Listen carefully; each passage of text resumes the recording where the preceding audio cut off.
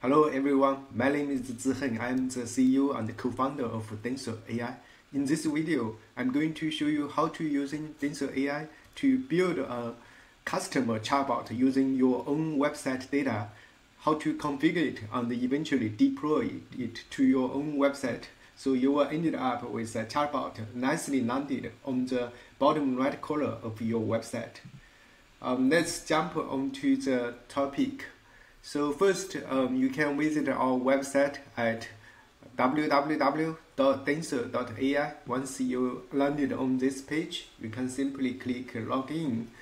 And once you click, you can use your Google account to sign into um, the dashboard. So as you can see, there is no chatbot on this uh, dashboard. So we are start from a clean workspace.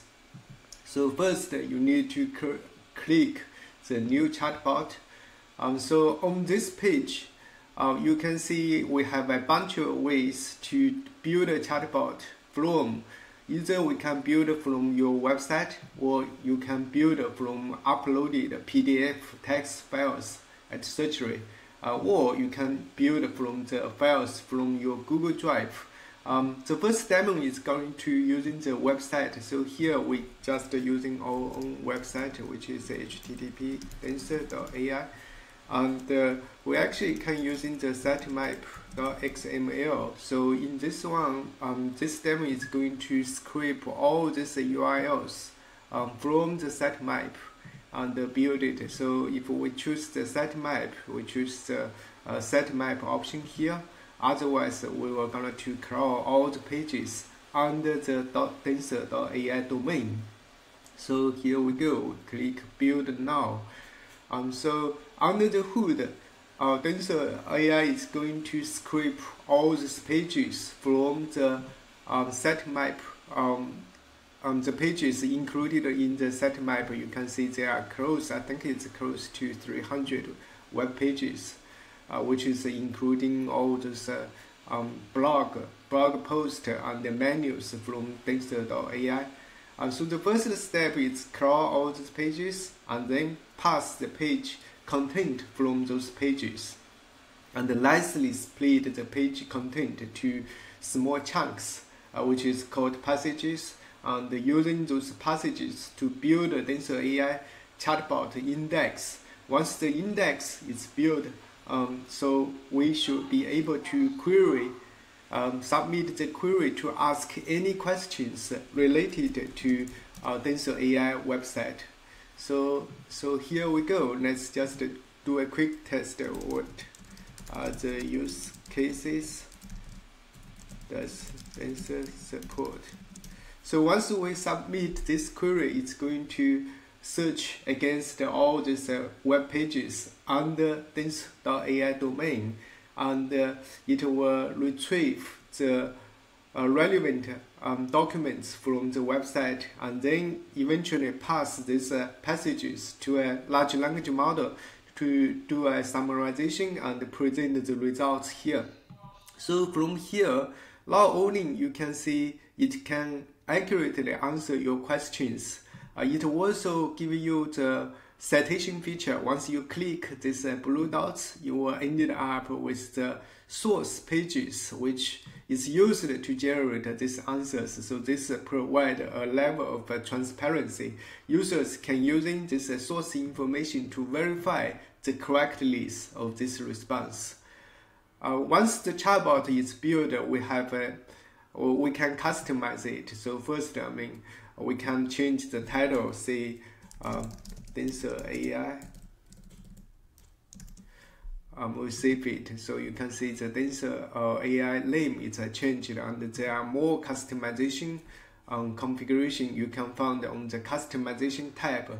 Uh, first notice that we do not have a logo here. So the first thing is just to upload a logo. So here we go, we have a logo um, display here. Uh, on this large language model setting, you can choose easy, easy, either the uh, ChatGPT model from OpenAI or the Claude model from Anthropic. And the lead generation uh, it's going to control whether you would like to have a lead generation form pop up on the chatbot uh, widget. And then uh, it's, uh, it's used to control the look and feel of this uh, chatbot. Lead display timing is going to control whether you want to show this lead generation form immediately or after the user uh, input the first query.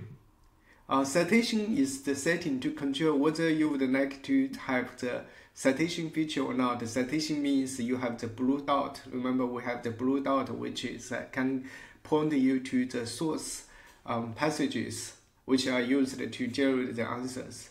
Branding, if you are on a plan on the standard or business, you have the option to remove by the powered by Denser AI message. So here we go, save it. There are more configurations like uh, initial message, so which is uh, appear here.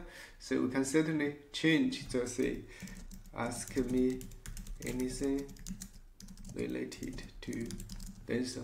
So we, we can customize the greeting message here. Suggested question is a way to you can put the most frequently asked question here, like um, what are the uh, pricing options for this uh, AI.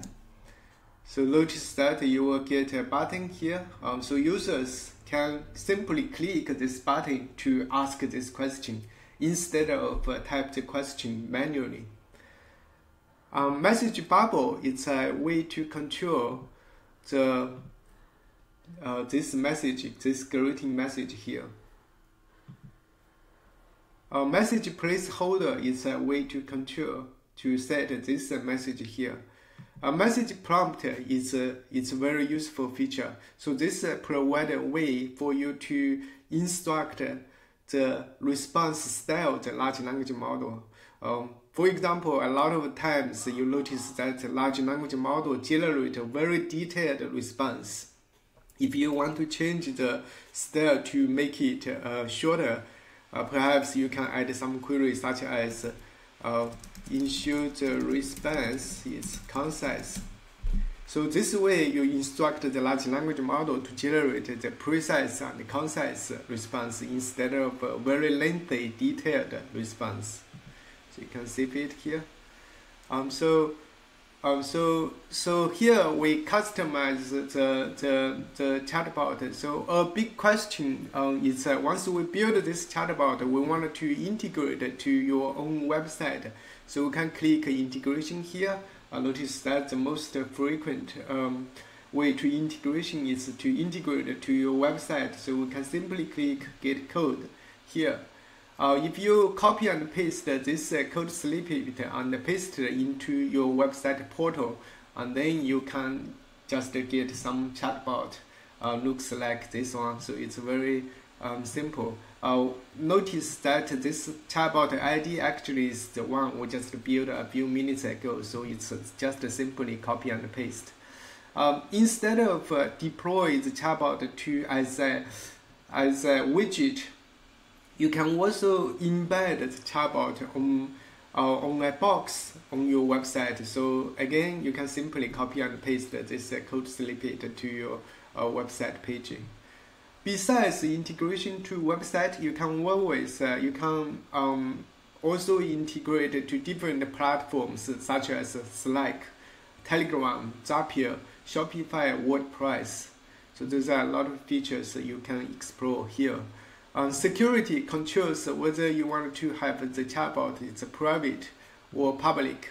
At default, it's private, meaning you are the only one can chat with your chatbot. If you want to deploy to your website, make sure to set it public. Here, yeah. Um, then goes to the uh, data store tab. Data store is uh, basically store all these uh, documents or website URLs are used um, to build your chatbot. So from this page, you can see there are 339 URLs are used to build this chatbot. You can edit it, you can remove or add new web pages Once you add it, you simply hit uh, rebuild. It's going to refresh the chatbot. The lead generation, if you turn on the lead generation here, um, like turn it on, you will have uh, uh, option to collect the leads from the chatbot. So here you can customize the leads field. Um, see, uh, you have a default of person name and the uh, email address. Certainly you can add more fields such as the phone um, fields. Once you save it, and then you will notice that you have the phone fields appear here. Um, also, if you uh, if you get the if your leads submitted the information, you will see all these submitted leads here. Here we do not see any because this is a brand new chatbot. Uh, yeah, next I'm going to show you. Um, in addition to build a chatbot from your website, you can you can also build a chatbot from the document like uh, PDF, TXT, XML, CSV, TSV file, etc. So here I simply build a chatbot using a PDF file from a high school handbook. Um, so here we go. So this handbook, uh, I think it has around 300 pages, so it it's very quick to uh, build it. Um, so let's just uh, have a test query. Um, what happens if a student is late? So once we submit this question, this question is used to search against that high school uh, handbook and uh, retrieve relevant uh, information and eventually we will see the results here. So the last thing um, for this um, chatbot is that not only it can give you the accurate results, you can actually uh, trace by clicking this uh, blue dots can see uh, what are the original sources used to generate these uh, questions. So this uh, provide a very nice way for you to verify the correctness of this response. Um, so here we, in conclusion, in this video, I demonstrated the two ways to build the chatbot. Uh, one is from the, your website, and the other one is using the documents you uploaded. I hope this video is uh, useful. Thank you.